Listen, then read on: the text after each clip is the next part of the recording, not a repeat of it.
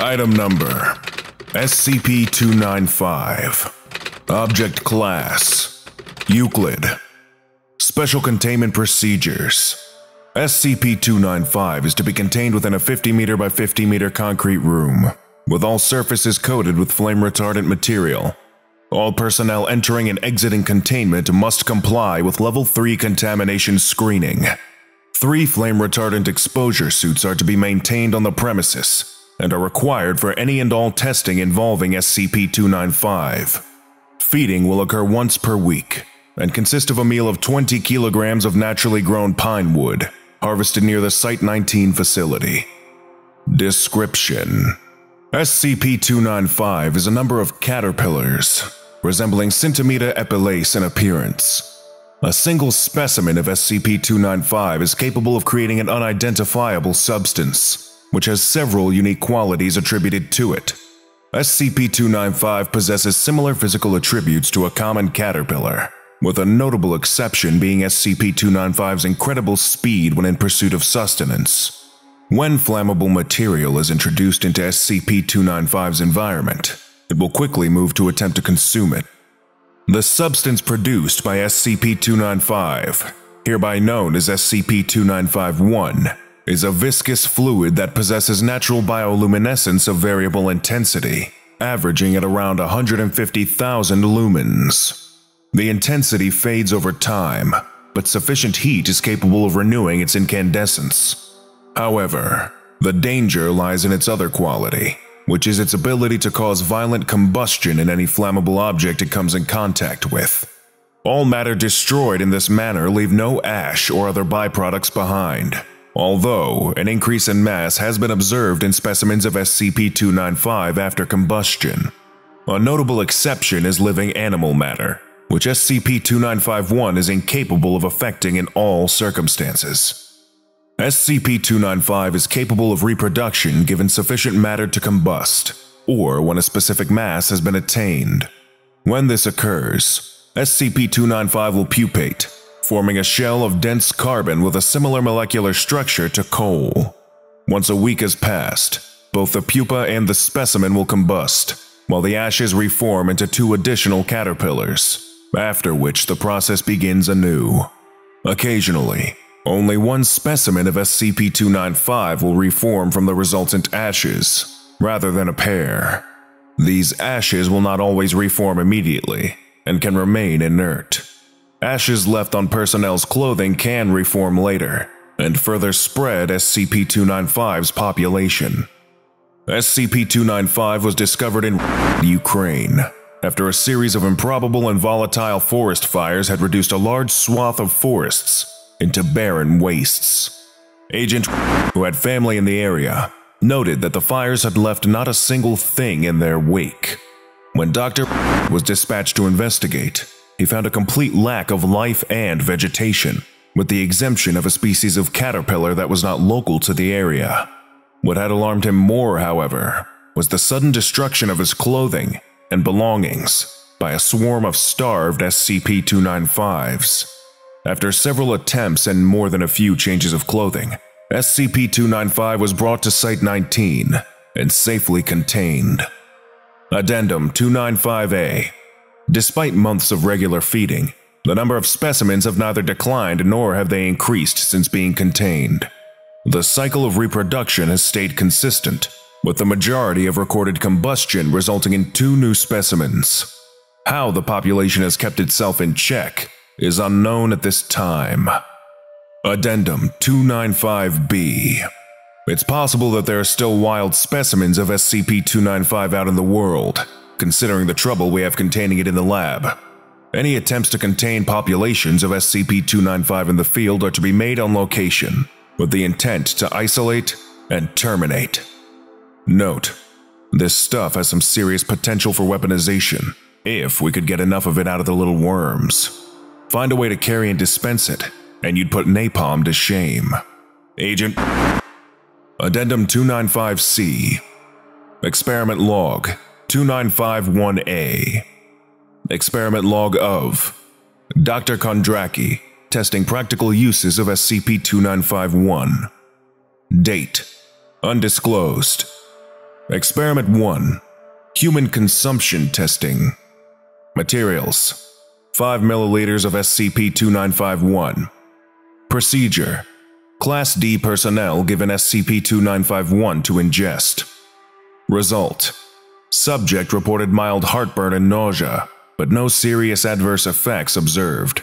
Subject's digestive system temporarily operated at 25% additional efficiency. Experiment 2 Usage as a portable source of light. Materials 20 milliliters of SCP 2951, glass tubing, rubber grip, lighter. Procedure Glass tubing filled with SCP 2951, reinforced by rubber grip.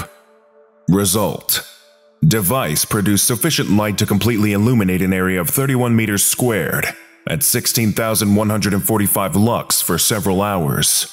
Applying a lighter to the surface of the glass relit the solution completely. Experiment 3 Usage as an incendiary device. Materials 200 milliliters of SCP 2951, glass globe. Procedure Globe filled with SCP 2951 and thrown into wooden test structure. Result all material that came in contact with SCP-2951 instantly combusted, as expected. Remaining structure of the building burned abnormally quickly from secondary conflagration. Only 20% of the structure's initial mass remained after testing. Note: Immediately following the conclusion of the test, approximately 56% of captive SCP-295 specimens began to pupate. Dr. Kondraki. Experiment 4 Usage as lighter fluid. Materials 100 milliliters of SCP-2951, 1 bag of consumer-grade charcoal, mid-range coal grill, 2 beef burger patties. Procedure SCP-2951 poured onto coal, while beef patties are prepared. Result Data expunged. Note I cannot fathom the lack of sense this required. Consider your position as an assistant terminated and your security level revoked. I hope that gives you something to think about in between skin grafts. Dr. Kondraki. Addendum 295D. Experiment Log 2951B. Experiment Log of Agent T, testing practical uses of SCP 2951. Experiments overseen and approved by Dr. Date Undisclosed. Experiment 1 Usage as lighter fluid. Revised. Materials 1 milliliter of SCP 2951, 500 grams consumer grade charcoal, mid range coal grill, 2 100 gram beef burger patties. Procedure Coals arranged in a standard rough cone. SCP 2951 applied to three coals.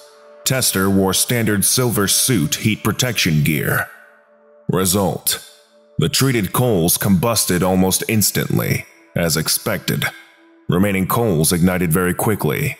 Patties cooked in approximately half expected time. Cooked patties, when tested in laboratory, showed no evidence of any unusual components.